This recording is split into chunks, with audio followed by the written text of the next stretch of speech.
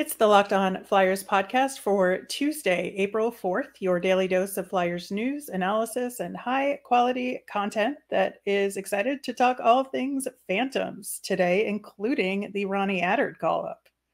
Yeah, I don't know if I'm excited about that. Well, I am. So we're going to talk about it on today's show.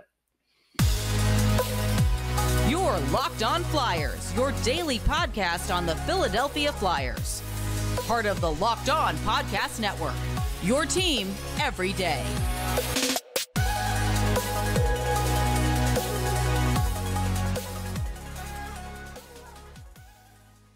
Hey there, I am Rachel Donner. You can find me on Twitter at rmiriam. I'm here, as always, with Russ Cohen, who's on Twitter at Sportsology. Thanks for making us your first listen every day. You can follow the show on Twitter and Instagram at Locked On Flyers. That is where we post about our latest episodes and Flyers news.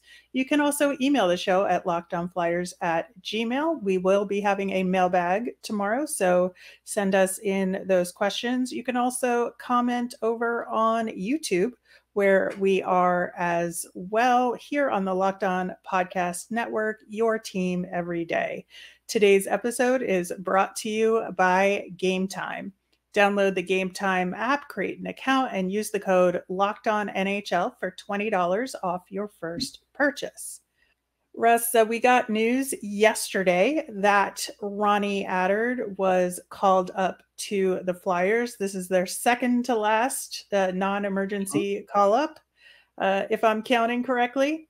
And I think this is something that would have happened like a week and a half ago if Ronnie Attard didn't get sick and miss, uh, not this past weekend, but the week before, he missed the games because of illness. And I'm guessing it would have come then. Most likely. Um, I'm okay if it's a quick call up. If he is going to miss time from the Phantoms, then I am not okay. I'm happy he's getting another look. Don't get me wrong, but I think the Phantoms really need the help. They're they're on the edge. They are. Uh, he's been the top defensive scorer for the Phantoms this season. We've talked about that uh, the last month or so. And uh, Ronnie is also sixth amongst AHL rookie defensemen this season. So that's not too shabby. He's got 30 points in 64 games. No, it's really good. It's been a really good season for him. Still developing, still not sure if he's an NHLer yet, but he's he's much closer. Yeah, and I think getting a couple games in uh, once against a, an eliminated team and once against a playoff bound team. At least I think that's a good combination of games. Now, hopefully, he goes back to the Phantoms for their games next weekend, but obviously, we don't know how long the call up is going to be for and with travel and everything. Uh, it, it might be dicey to get back for that Friday game, but he should be able to at least get back for the Saturday game this weekend. Yeah, I have a feeling the Friday game is going to be uh, not happening. And yeah, I mean, it's a part of it. I mean, this is all about how you plan it, though. So he could play Friday. There's reason. There's really no reason he can't. But we'll see. We'll wait and see how that all plays out. Yeah, and as far as his more recent play, um, like we said, he was out sick the week before, but this weekend uh, he had an, a, a really great feed to Bobby Brink for the game-winning goal on Friday.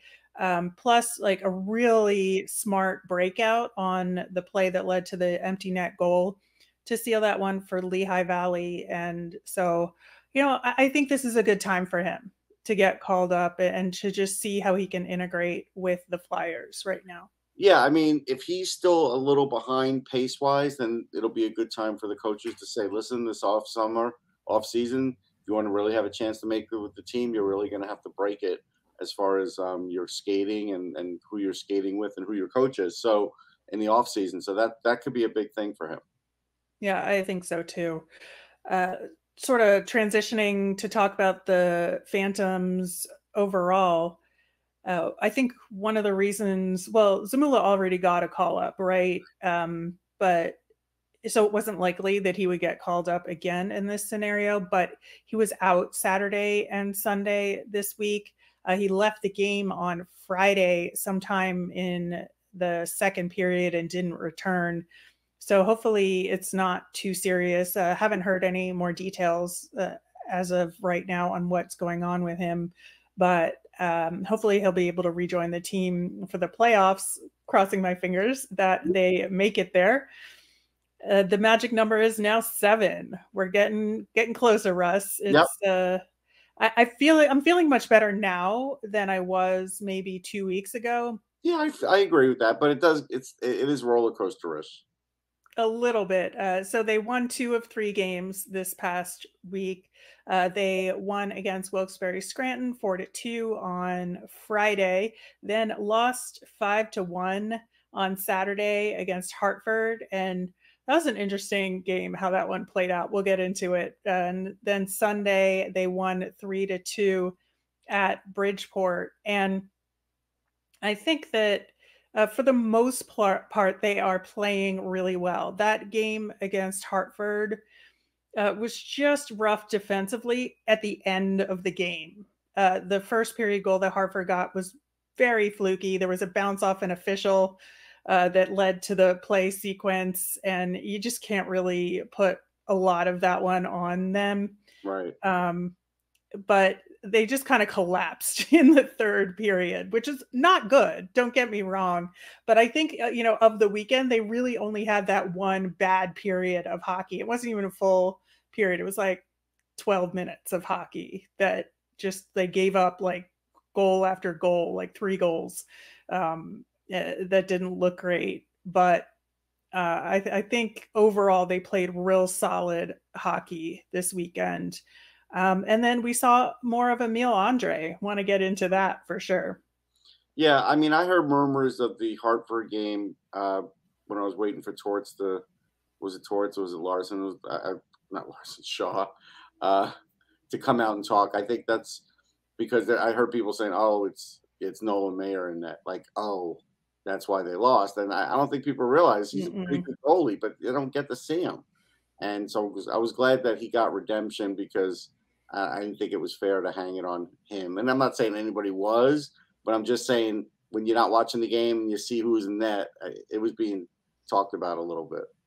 Yeah, I think that was a full team collapse. Yeah. I mean, maybe he could have saved one of them but at that point it wasn't going to make a, a, big enough difference uh, it was just a team defensive collapse in right. my opinion for, for that one um, yeah emil andrae though uh, he got his first ahl goal yeah i saw that that was great yeah and he was the only goal scorer in that five to one loss but it was such a great shot um, tyson Foerster did a drop pass in, into the slot and Andrae just picked it up and ripped it in and yep. kind of pinged off the crossbar down and in.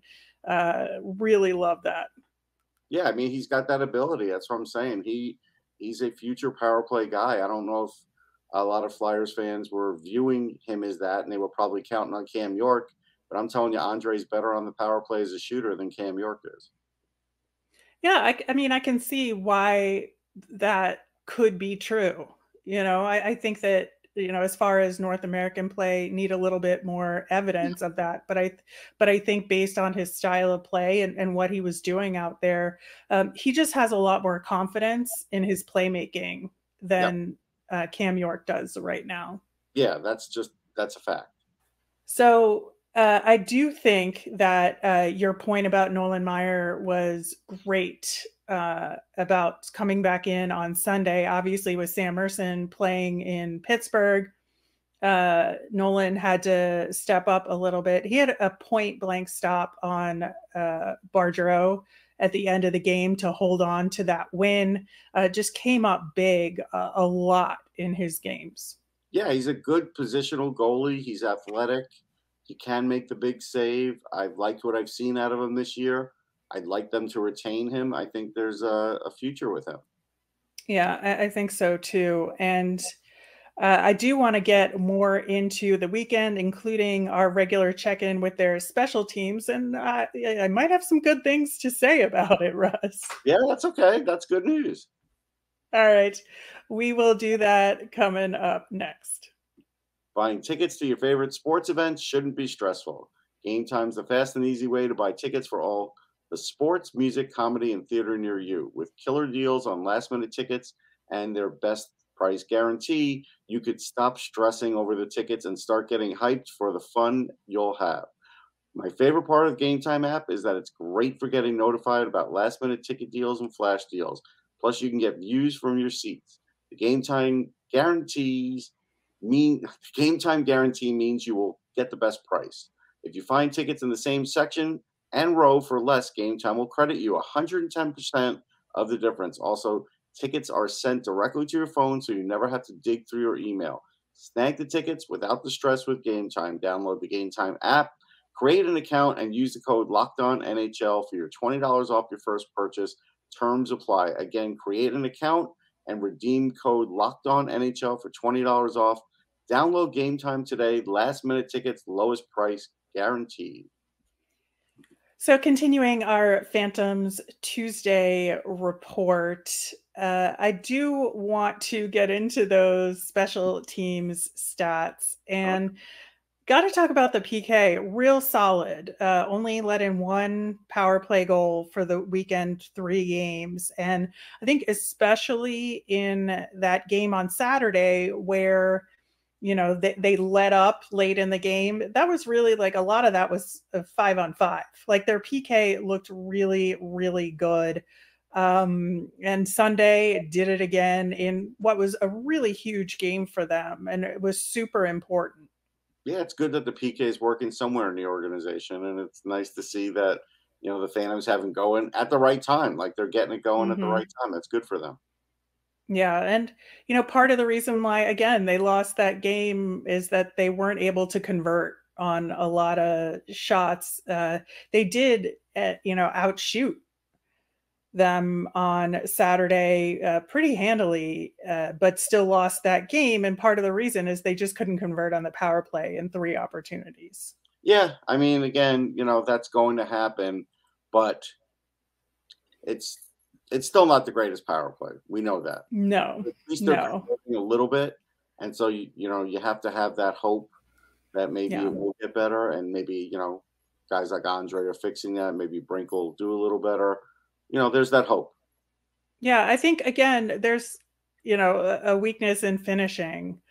Yeah. But the puck movement with the with the Phantoms, you know, as opposed to the Flyers, I think the puck movement is there. The smarts are there uh, it's just a matter of of finishing on the play, which you know I'm obviously a lot more forgiving with the Phantoms than I am with the Flyers on that front. But you know, even like looking at how the power play is running, it's it's a lot better on the Phantoms. Now, different animal, but still, I just feel like there's like an organization to it and set plays that, that just might not be there with the Flyers. Mm-hmm. I think that's a fair assessment. I really do. Um, looking more at some specific guys, uh, Tyson Foerster, man, I really think that trip up to the Flyers was such a good boost for him mm-hmm. uh, from a confidence perspective. And we, we talked about that uh, when he was playing for the Flyers, that, you know, maybe in a perfect world, he would have stayed down with the Phantoms again because of the risk factor to the Phantoms playoff run. Obviously, in hindsight, now that I'm feeling better about the Phantoms, I'm seeing more of the plus side uh, of of bringing him up but man his, his shot is just so fun like when he mm-hmm. is on he is on uh, that power play goal he got on friday was just all him with with that shot uh, a goal and three assists for the weekend and he still leads the team in points and he's got 44 points in just 61 games and you know the phantoms have played 67 games overall to this point yeah, no, that's pretty good. It's a rookie season. It's a it's a solid rookie season. So uh, I still am expecting a little more because that's where I'm hesitant in saying he's definitely going to make the team next year as far as the big club. Let's see what he does in the playoffs if they make the playoffs. Yeah, I think for a guy like him, that's going to be huge, right? And in looking at what he can do in a different situation and uh, one of the between period interviews uh, from the weekend was uh, Artem Anisimov, and uh, it was interesting because he talked specifically about getting the rest of the team playoff ready from a mental perspective right. and how that's part of like what he's doing from a leadership perspective is talking to the guys and being like this is how it's going to be different in the playoffs and here's how we need to play in these games now so that we're not having to make the leap once that official change takes place that we have that mentality in these remaining games for the season yeah i think it's great that they actually have someone doing that i think it's you know it's helpful for the young players he he seems to be really enjoying that. Good for Artem. That's all I can say. Yeah, it's really cool, and and just to hear him talking about, you know, talking to guys like Tyson Foerster and Elliot Desnoyers and Olle Lycksell and Bobby Brink specifically, who are the, the, you know those are the guys that need that message yes. the most because they need to show that they can step up for the playoffs. Um, you know, I think that Desnoyers, especially, you know, he's, he's kind of been up. Yeah, he just had an assist on Friday, but he's somebody that could use a little bit of a, a bump uh, yeah. on his confidence. His goal uh scoring uh, to slow down for sure. Mm-hmm. Yeah, pick it back up. Yeah, and but on the flip side, I think Olle Lycksell and stable with this. He's now second on the team in scoring, uh, but he's only played 48 games overall. Uh, relative to some oh, of the other having, guys, he's having a tremendous year. Nobody talks yeah. about where it seemed you know, it seems like we're the only ones that talk about him. He's got no chance of making the Flyers, helping the Flyers, but he's having a really good year. Yeah, he had a goal and an and an assist on Sunday. Um, that uh, power play goal too really helped the team in, in, that game. I think on Saturday he had um, some really good opportunities. A lot of them were just stopped by the goalie, or he had a couple misses on the mm-hmm. net. And so, again, just working on his shooting a little bit more uh, over this offseason is going to really do him a lot of good. And then Bobby Brink comes in with a two goal game on Friday. He got the game winning goal um, and that insurance empty netter at, at the end. And uh, it was a really good play on his. Uh, regular goal in that one as well. Yeah, he's picking it back up slowly. Uh, he definitely needs to um, get on a on a roll here, though. He's the guy that we're expecting will get that last call up for um, really to help spark the fan base. But you know, he's got to show a little more before he does that, so they at least could say, "Hey, look what he's doing." You know, play it up a bit. Absolutely. So, like I said, the magic number is now seven. Uh, they are in fifth place in the division with five games remaining. And all the teams in the division who are above them have six games remaining. And over the past uh, little bit, Springfield kind of leapfrogged Charlotte into that third place spot. So now Charlotte is the one, is the team that's right above the Phantoms in the standings. They have a two point margin on the Phantoms right now with that game in hand. And uh, so I think they just really need to keep pace with Charlotte uh, in order to stick in the spot that they are now in that fifth place spot. Um, Hartford is in sixth, right below them, with the same number of games played as the Phantoms, and they are three points behind the Phantoms. So that's why I'm saying they they should just need to keep pace. And yeah, if you look at their own destiny that way, exactly, exactly. And you know, looking at their schedule, lo and behold, on Friday, who are they playing? The Charlotte Checkers, right? And so, you know, again, you, you kind of have to say, Ronnie Attard, if he misses that game, is that going to be a, a, huge deal for the Phantoms? Could be, because that pairing he has with Adam Ginning mm-hmm. is really solid. And so to mix that up a, a little bit, uh, it could be a, a, big risk, especially because they didn't mix it up in the last several games. Ginning and Attard have been together as a pairing for weeks now. Yeah, it could hurt them. I, I'm, you know, not looking forward to that possibly happening. Yeah, on the on the upside, you have Emil Andrae paired with Belpedio as the top pairing with Zamula out. So that's good to get Andrae in all kinds of situations, and, and that should help. Nope. But yeah. So on Saturday, they're going to face Springfield. It's just a two game weekend. So, like those other teams with a game in hand will catch up to them. Then the week after their final week, they face Bridgeport, Charlotte again. And then they finish the season uh, against Hershey, which is, Mm. uh, you know, this is going to be tough. So with two games against Charlotte, who are right above them in the standings, those are, you know, four point swings right there. Yeah, just keep winning. That's what they have to do. Yep. So uh, I think you know, it's going to be a tall order, but I do think the Phantoms can do it. They just have to really play consistently, play their game, and uh, stay out of the penalty box. I think is Yeah, that's a big thing. the advice. Out the penalty box will be huge. You're right about that. Yeah. All right. Well, uh, switching gears and talking about the Flyers, they are facing the St. Louis Blues tonight. We will see Ronnie Attard in that one on the road, and we will talk about it coming up next. If you're looking for a delicious treat but don't want all the fat and calories, then you gotta try a Built Bar. I know my goal has been to eat a little healthier this year, but I don't want to compromise on taste. And if you're like me, Built is just the thing for you. Healthy is actually tasty. And what makes Built Bars so good? Well, they're covered in 100% real chocolate and come in unbelievably delicious flavors like churro, peanut butter brownie, and coconut almond. On the healthy side, they're only 130 calories and 4 grams of sugar with a whopping 17 grams of protein. And now you don't need to wait around for a box. We've been talking for years about ordering built bars at built.com. You can still do that, but you can also get them at Walmart or Sam's Club. Head to your nearest Walmart today, walk to the pharmacy section, and grab a box of built bars. You can get a four bar box of cookies and cream, double chocolate, or coconut puffs. And if you're near Sam's Club, you can run in and grab a 13 bar box of brownie batter and churro. You can thank me later.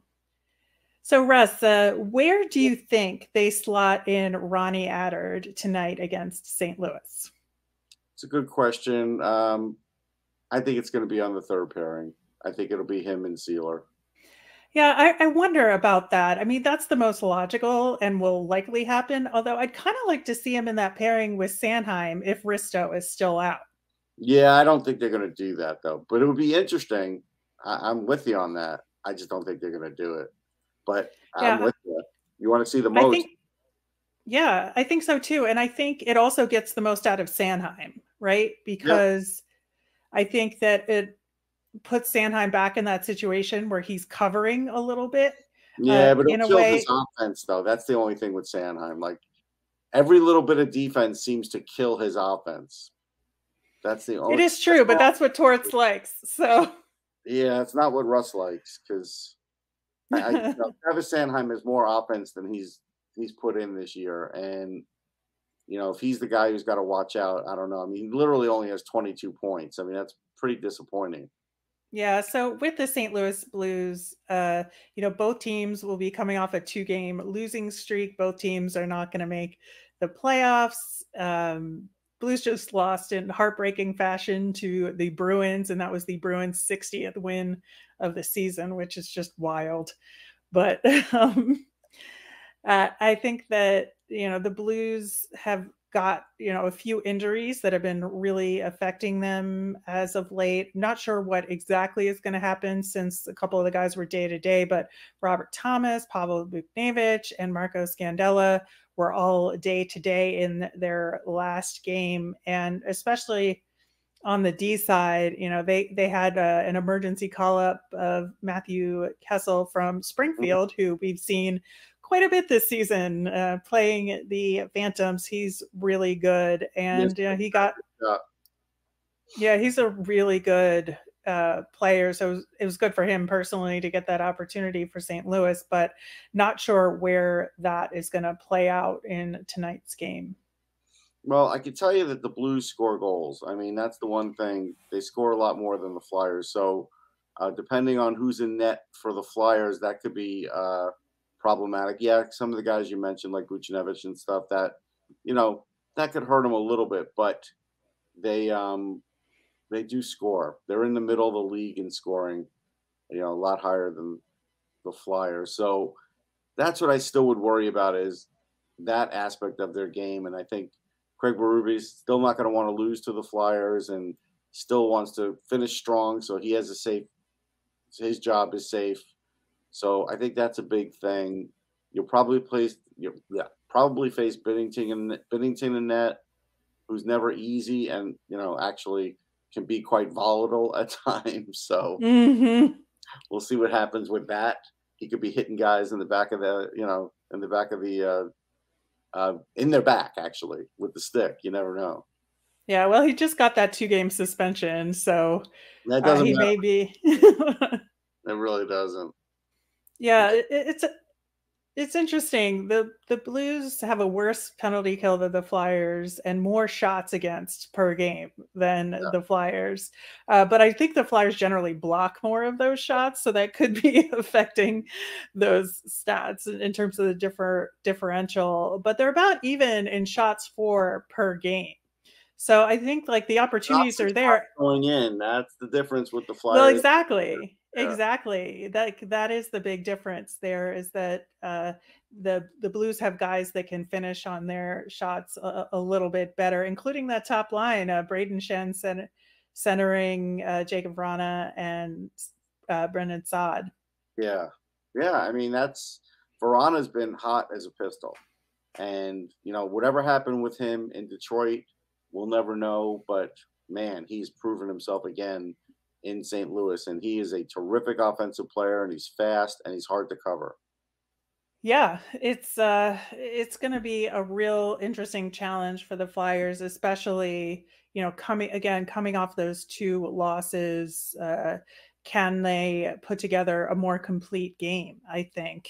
Uh, you know, even though, you know, Torts did say, like we said on yesterday's show, that he felt really good about the game in Pittsburgh overall from an effort standpoint. I just think, you know, you know dotting that I and crossing that T is oh, okay, but the next but step. Here's my problem with with yes, John, the effort's been good. I get it. But you were down three nothing for a lot of that game. So again, yes, there's this little bit of fight back ability with this team but you were down three nothing for a while. There wasn't, you know, it's not a great effort at that point. But he tends to gloss those things over when they come back and forgets about the two periods that maybe weren't good. You know, I can't disagree with you there in terms of the results not being there. I feel like the tagline for this flyer season is all effort, no execution. Yeah, I like it. Make a shirt. but um, I'll buy it that is where we are. Uh, our Flyers fun thing for the day is the Phantoms power play goal from Sunday. It was an Olle Lycksell goal, uh, but Tyson Foerster did most of the work there. And so I like those two guys working together that well. I like the power play goal uh, and everything about it. Take a look at that highlight. I promise you will like it as well. Good stuff. That yeah, that will do it for today's show. We'll be back tomorrow and we will recap uh, this game against St. Louis. Plus, we will have our mailbag and so much more. As a reminder, we always want to hear from you. So if you've got a question for that mailbag, you can tweet us at Locked On Flyers or you can email us at lockedonflyers at gmail or comment over on YouTube. I'm Rachel. I'm on Twitter at R Miriam. That's R M I R I A M. I'm Russ. I'm at Sportsology, S P O R T S O L O G Y. Thanks for making Locked On Flyers your first listen today. Now make your next listen game to game NHL. It's every moment, every top performance, every result. Locked On Game to Game covers every game from across the NHL with local analysis that only Locked On can deliver. It's on the Locked On NHL feed, anywhere you get your podcasts. Have a great day, everyone.